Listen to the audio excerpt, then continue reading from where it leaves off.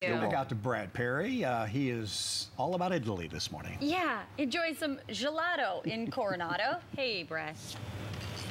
Look, I, Lisa, look at that. Join some uh, some gelato in Coronado. Oh yeah, that's what we're doing. We're gonna come back and we're gonna see the little secret to making this from the professional. That's right. He's a teacher. He's done it. He's been to school. It is uh, Friday, and we're enjoying just the cool summers right here. And Good Morning San Diego returns right after this.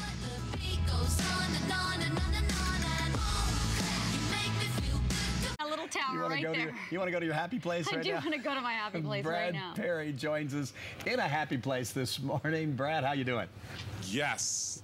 And I will be over at that happy place uh, in the 8 and 9 o'clock hour for a big yoga That's event taking place over at Yoga, the Hotel very Coronado. nice. So I'm, I'm doing Coronado, everything. Doing gelato first, which you get, and then I'll go stretch it all out, which is really nice. We're back in uh, the kitchen here. And, uh, and David, I'll make sure to say it right because my Italian's very terrible. It is Bor- Bogata?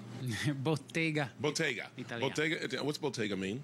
It's it's kind of like a, a small uh, store that, that makes its own goods. So like a homemade uh, good store. And then Italiano. What's that? The other part?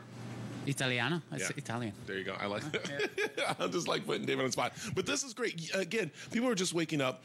You went to gelato school, which is very important, especially being uh, Italian, because people come here to America, they taste, uh, you know, the gelato. So you're making sure it's the same gelato they taste when they're in Italy, right? Absolutely. That that's uh, you know authenticity is, is is a huge factor in our business, and and we want to give the same experience. More and more people know exactly what it should be. They travel, they tasted the real thing. Um, we import all of our equipment, uh, ingredients, everything from Italy to do 100% how it, it, it should be done. And I see Alex here who is uh, measuring things out here. And this is, it's kind of interesting. It's a little simple, but it's measured out. But it's, again, people have to realize gelato is not like, it's ice cream, but in Italian way, right? Yeah, it, it, it is very different, to, to be honest. It is uh, what it means. Gelato is ice cream in Italian, but uh, as you can see, we use fresh fruit. We use the the actual from scratch natural ingredients in there, um, real flavors. We don't use syrup.